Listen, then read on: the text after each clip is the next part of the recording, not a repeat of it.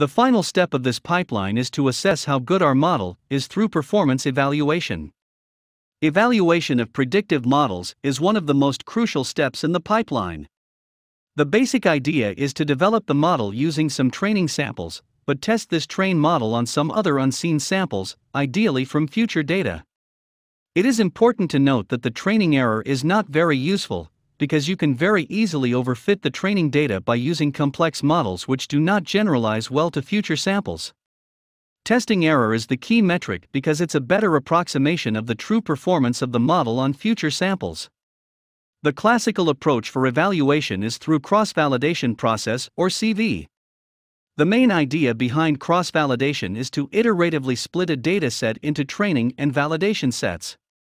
And we want to view the model on the training set and test the model on the validation step, but do this iteratively many times.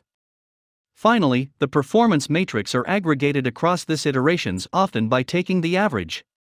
There are three common methods for cross validations namely leave one out cross validation, k-fold cross validation, and randomized cross validation.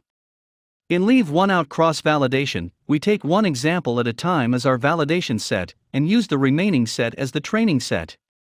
Then repeat this process many times, goes through the entire data set. The final performance is computed by averaging the prediction performance across all iterations. K-fold's cross validation is very similar to leave one out validation. But instead of just using one example of validation set, we have multiple samples in the validation set. More specifically, we split the entire data set into k-folds. And we iteratively choose each fold as set, validation set, and use the remaining folds as a training set. For example, the fold 1 would be used as the validation set, and the remaining fold will be used as a training set to view the model.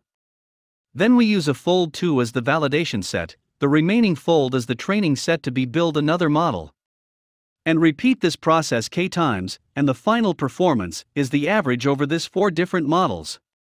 Finally, randomized cross validation will randomly split the dataset into training and testing. For each such split, the model is fit to the training dataset, and the prediction accuracy is assessed using the validation set. The result are then averaged over all the splits. The advantage of this method over the k-fold cross validation is that the proportion of the training and validation set is not depends on the number of fold. The disadvantage of this method is that some observation may never be selected into the validation set because there's randomization process. Whereas, some other samples may be selected more than once into the validation set. Validation set may overlap. To conclude, in this lecture, we introduced the key steps in building a predictive model which include define what is the prediction target and construct the right patient cohort, then construct all the possible relevant features from data, then find which features are relevant, and view the predictive model, and finally, evaluate the model performance.